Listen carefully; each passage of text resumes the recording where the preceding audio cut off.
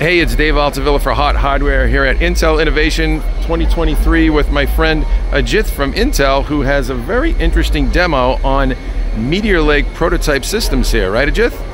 Yes. Tell us so, what you can show us here. Yeah. So we, here we are talking about uh, an ISV solution called Wondershare Filmora.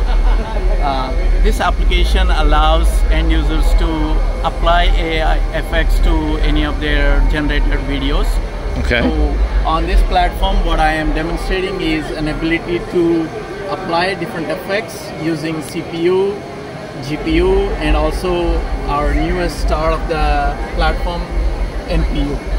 So let me play you a quick video of all the AI effects applied to this video, and you, we can see the CPU usage.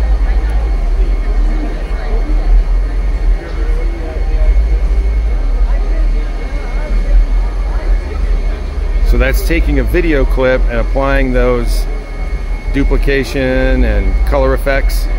Yes, it has a layer of like five different uh, effects that we applied. Mm -hmm.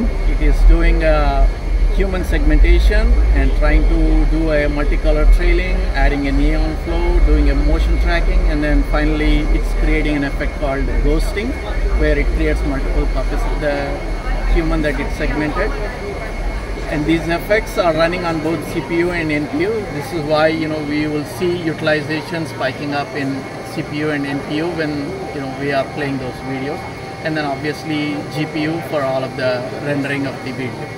Yeah, and if we look, we've got Intel Arc graphics there. We've got the NPU showing in Task Manager as well as CPU and memory. Good stuff. Can you hit play again? Can we see that again? Is there a way to? Absolutely. One more time.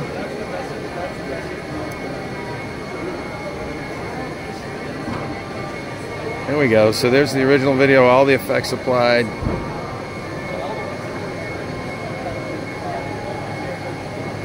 Very cool. Very cool. So there you have it, the first live demo of Meteor Lake doing some AI video effects here at Intel Innovation 2023. Thanks very much, Ajith. Thank you. Good to meet you, buddy.